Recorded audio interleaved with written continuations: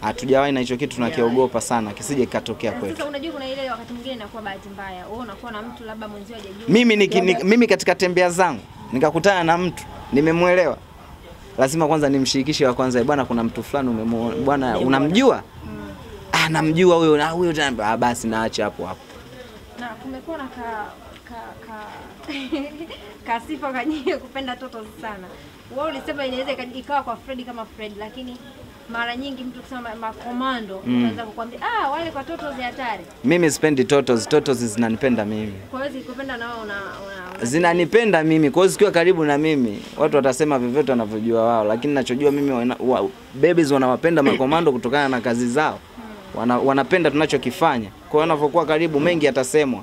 Okay. Umeelewa? Kwa sababu mtu mwingine ane- anayeongea hajui sisi nini tunakifanya. Umeelewa? Mpaka hapa kwenye kwa mfano interview kama hii ndo mtu anaweza kujua sisi kwa nini watoto wa kike wanatupenda. Umeshawahi kudate na mtu yote maarufu? Mbona unacheka sasa? Hamna na kitu hicho Tunakiepuka. Lakini Fred, Fred unajua mapokeo yake ni kama akashawahi. Ah, ah. Huyu alikuwa mitiari ameanza kunusa nusa na, na mimi muunganishi mimi kuadi. Hapo sasa, ehe, alianza kusonosa kwa nani? Lakini long time tushaje. Ilikuwa ilikuwa kwa nani? Kwa upa hajatunupa. Kwa Jacqueline Olpa. Ndio alikuwa shanga kunusanusa. Eh, Lakini sasa kwa Alikuwa anakuja sana pale. Kitaa. kwa wewe sasa ujumbe ulikuwa ushafika Eh, mbali. Ila kadati kadeti na Skyna naye. Ana Kwa kumbe ashawahi kudate naye. Sasa kawaida, kawaida tu. Skyna ulidate naye kabla hajawa mama. Tayari Ah, kesho. wakati ameshakuwa. Sasa Eh, lakini mambo hayo yashapita. Eh? Kitu gani kufanya mkafarakana? Hamna. Si una- una- unaweza ukakuta tu bwana Rafi Style, mimi siipendi kukaa kwenye front page. Hivyo ni vitu watu na watu wanapiga fu kimya mnakuja kujua siku ni mambo ya yashapita. Ndio tunavyoishi sasa. Hapa hakufanikiwa. Yaani kuwaje sasa wewe mpeleka ujumbe ilikuwaje? Yaani ulishindwa kufikisha ujumbe unavyotakiwa au Eh, bana. Ani kiunganishi Hayo ni mambo ya hayo mambo mambo ni hayo hayo mambo ni ya muda. ya muda sana kwanza nimesahau hata niliwakutanisha wapi. lakini ulifanikiwa. Yaani Sijui sasa labda amenificha. Huyo ajui sasa kuna mambo mengine kuna mambo ajui. mengine mimi sijui. Lakini lakini eh Fred. Ah.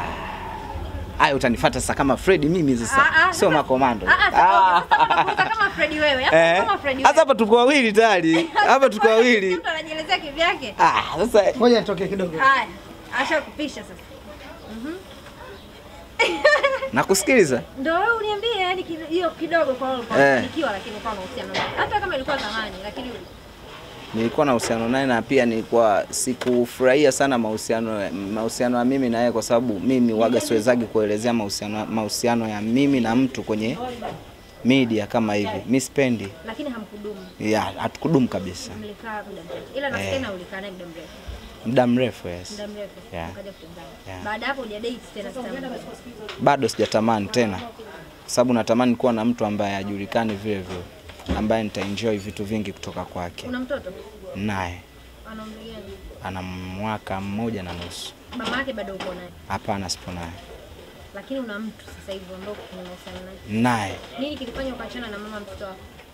Process nyingi hapo katikati. Kuna maisha mengi sana amepita hapo katikati tofauti, vipo vizuri na vibaya vilivyopita hapo mpaka vinapelekea mtu. mtoto wako. Maana kwa wasanii sasa moja ya kitu kikubwa ambacho mnacho ni kujua tu ku Nitamkubalije, nitakubalije mtoto afu nishinde niache kumlea? Hapana, Yaani sijui kama ni mnashindwa au mnaamua tu kuingia mitini au basi tu hapana, mimi namhudumia. unamhudumia yeah. mtoto wako. Mama yake Whatever. uko fresh kabisa. Una watoto ngapi? Mimi na watoto wawili. Wawili. Eh, afu mama tofauti. Kila mmoja na mama yake. Eh. Na mama zao wote hamna hata mmoja ambaye uko nao.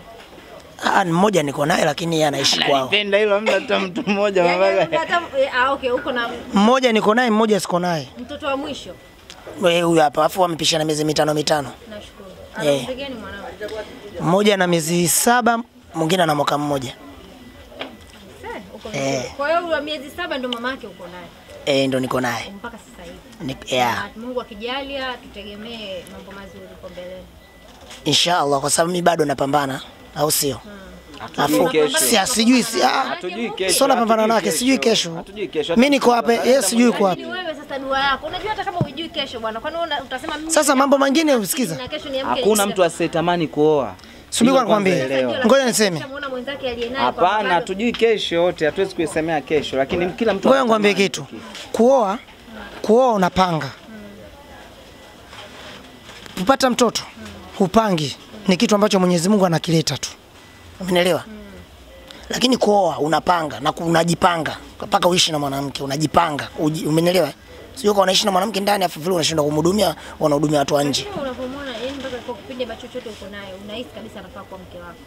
Ya, ni mwanamke mzuri, nampenda sana, umenielewa? Ni mzuri na, na, na stahili kuolewa, lakini siwezi kwanza ku, kusema tu nioe moja kwa moja wakati kuna vitu vingine vinaendelea. Yeah.